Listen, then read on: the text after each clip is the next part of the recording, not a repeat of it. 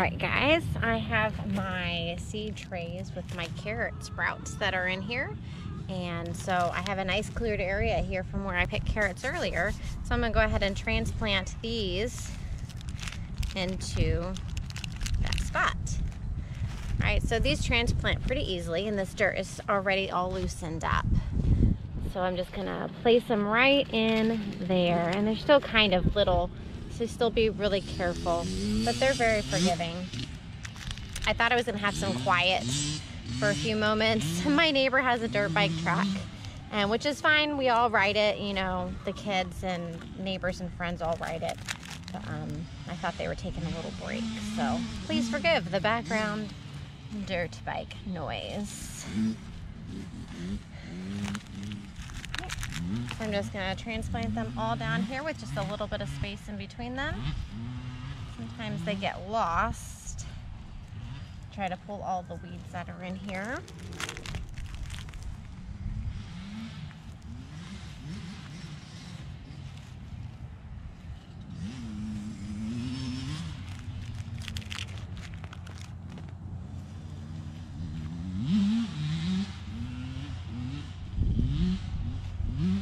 and easy as pie.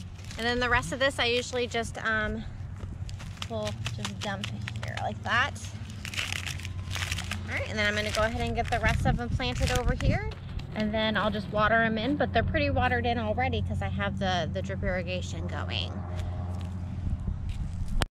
All right, once again, I'm really sorry about the background noise, but I really wanted to record um, this broccoli. This is my first broccoli that sprouted, and as you can see, it's starting to flower. So I'm gonna go ahead and just cut it right here. And we'll eat this part, and then what we can do is they'll start to grow new little shoots. You can even see one starting right here. Um, they'll sprout out more little shoots, offshoots of broccolis. And of course we can eat the leaves that the rabbit doesn't eat. But um, I wanted to show you guys that real quick. All right, guys, I could not film pulling these up, but um, because it was getting quite loud in my backyard, which is perfectly fine. It's a Saturday afternoon. I'm glad they're here having fun. Um, but uh, these are my two turnips that I pulled from my bin and I have these radishes.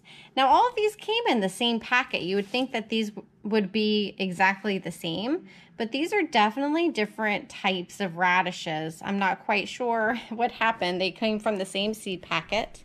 And I mean, look at these greens. They're just so beautiful. And here's my first broccoli it's little, but you know what? It's Florida and it's been so hot. I'm surprised it's done much of anything at all anyways. And we've been eating the leaves along with um, Peter Rabbit. So I'm going to um, chop off these ends, these root vegetables, and the broccoli and the potatoes. And I'm going to roast them all in the oven. And then what I'll do is just saute these greens um, with some bacon grease and garlic and salt, and that would be delicious. And they'll cook down to like be nothing, just like spinach does. So it looks like it's a lot, but it will cook down, and we'll eat this all tonight probably. So my husband's gonna cook some hamburgers on the grill to go with this lovely garden harvest. All right, guys, so this is all the greens that I ended up with once I destemmed it.